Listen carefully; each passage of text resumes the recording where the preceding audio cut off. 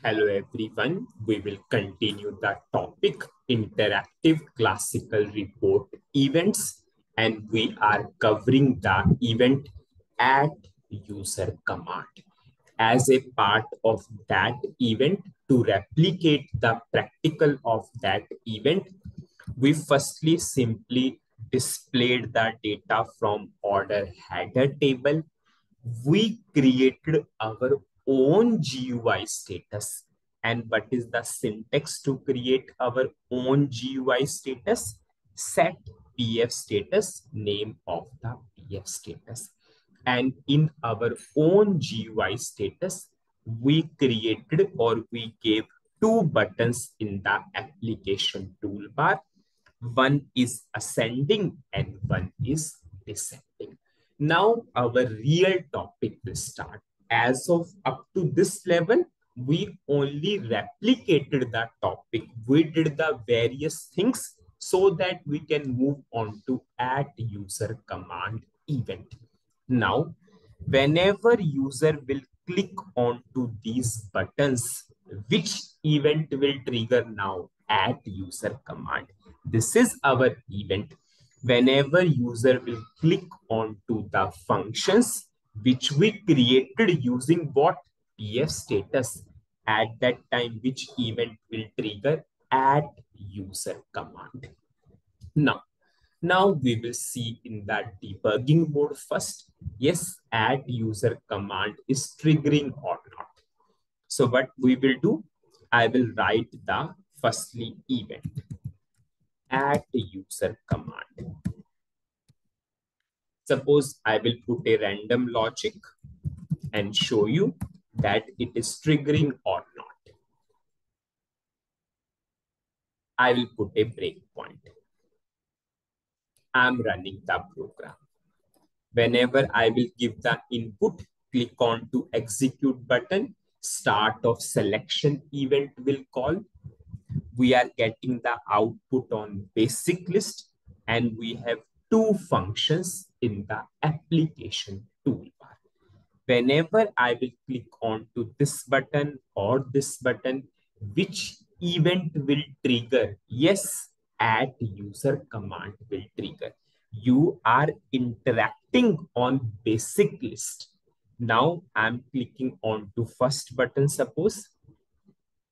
Have you seen which event triggered? At user command event triggered. Okay, I will go to back. Okay, suppose now I'm clicking on to suppose descending button. Now you can see again which event called at user command only. So whenever we are clicking on to the functions which we created, yes, which event will trigger at user command. Now simple understanding. How system understand that we are clicking on to ascending button. How system understand we clicked on to descending button. Suppose we have one more functionality. Suppose save functionality. How system will understand that we are clicking on to save button with the help of what function code function code function code is very, very important. Suppose I'm clicking onto this ascending button. So I should only, only execute the logic for ascending. If I will click onto descending button, it means I will only, only execute the logic for descending. If suppose I have a button save, so whenever I will click on to save button, I will only execute the logic for save, save. So how I will distinguish the logic based upon function code because every button has a function code. Suppose simple understanding. If I will go to SE11, whenever we are clicking on to syntax check button, how system understand that it has to only execute syntax check logic with the help of function code. Suppose if we are clicking on to activate button, how system understand that it has to only only execute activate logic with the help of what? Function code. So every button has a function code function code. Because you might have 100 200 functionalities on a screen. So you will not execute all the logic. Logic should be based upon that function only. And how you will distinguish the logic? Based upon function code. And what is the function code for ascending button we gave? Ascending. But the function code we gave for descending button? Descending so this is the way how we need to approach the logic because if you have 10 functionality we have only one event at user command but we cannot execute all the logic logic should be based upon specific function and how we will distinguish based upon function code. Now, next important point.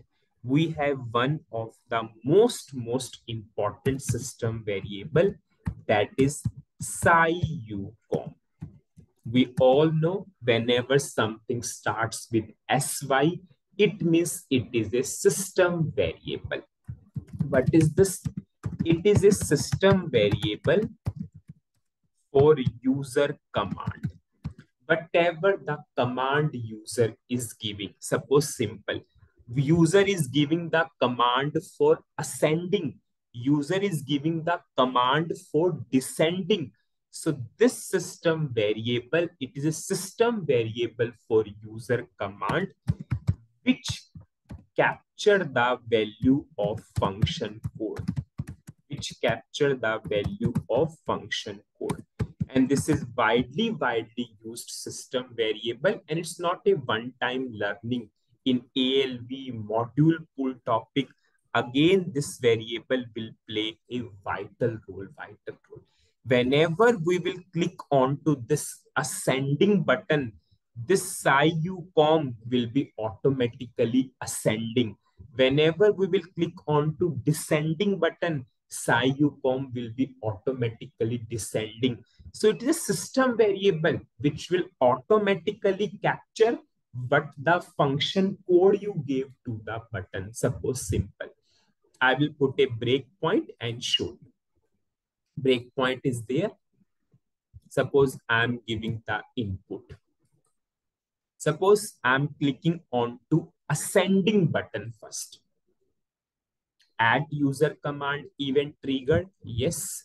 And if I see the value of function code, so if I see the value of system variable, have you seen what is the value of system variable? Ascending. And what is this? This is a function code for the ascending button. So this system variable automatically capture. It is a system variable for user command. User is giving the command for ascending. Suppose I will go for descending button, suppose.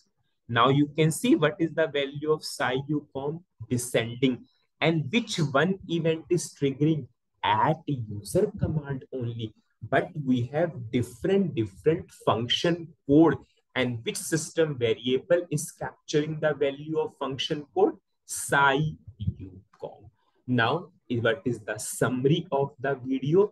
In this video, we studied in the debugging mode that whenever you are clicking onto the functions which you created, which event is triggering, which interactive classical report event is triggering, at user command. Now we might have 10 functionality we might have 20 functionality we might have 100 functionality but how system understand that it has to only execute this specific logic based upon function code because every button has a function code because you might have 100 functionality on 100 functionality we have only one event at user command, but we want dedicated only few lines of logic to execute because everything has a different, different function. So in that case, we will write the logic based upon function code of the button. And which system variable is capturing the value of function code SY-UCOMM. It is a system variable for user command which will automatically capture the value of that function code. Whatever the, whatever the button you are clicking, it will automatically take the value of function code of that button. In the next video, we will write the logic based upon this system variable SY-UCOMM. So that's it in this video. Thank you.